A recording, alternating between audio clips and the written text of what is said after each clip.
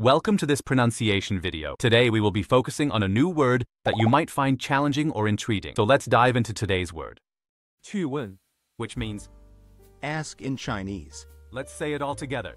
去问，去问，去问， One more time.